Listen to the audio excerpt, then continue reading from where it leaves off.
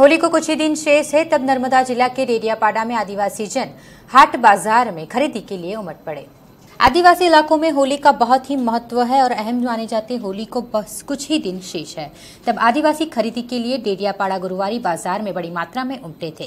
डेडियापाड़ा हाट बाज़ार में खजूर, नारियल, गुड़ और लावा सभी के स्टॉल लग चुके हैं। डेडियापाड़ा के आदिवासी जन इलाकों में होली के अगले कुछ दिन पहले से ही कई गाँवों में सामूहिक होलिका दहन होता है। होलिका के पंद्रह दिन पहले से ही सभी उपवास करते हैं और होलिका के दिन ही उपवास को खोलते हैं। पाँच दिनों तक नाच गाना कर दुलेटी का त्योहार मनाते हैं।